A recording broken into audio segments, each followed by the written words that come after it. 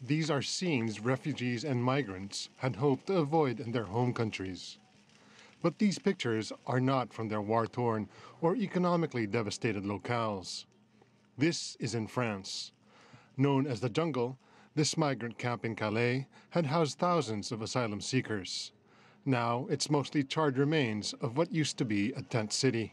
For decades, many migrants sought refuge in the jungle.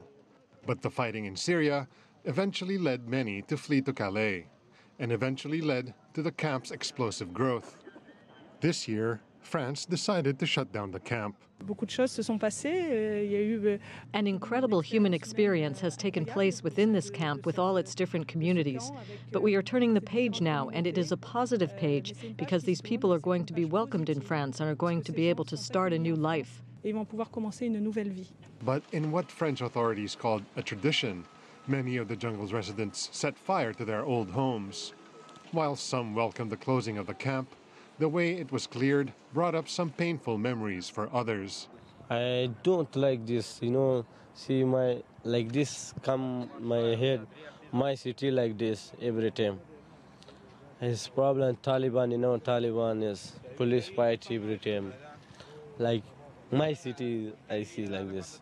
Almost all of the jungle's former occupants have been or are in the process of being relocated.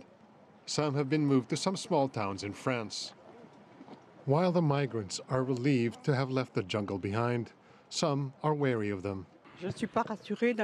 I'm not reassured because my house is near the holiday resort where the migrants will be housed and where I go past on my morning walks. And I don't know if I'll be able to continue this in the future because I don't feel safe. Most migrants, however, are not looking to stay in France. Most want to head to the UK. For one, the country has a better social safety net. Migrants also want to learn English, since they believe it will be easier to find work. Others want to be reunited with family who are in the UK. But there are now concerns the closure of the jungle will expose the camp's most vulnerable residents to exploitation, unaccompanied children. Now, some British activists are urging the government to take in more of the young migrants. It's quite clear that what should have happened is that the children should have been made safe first to avoid traffickers moving in and getting them like they did the last time.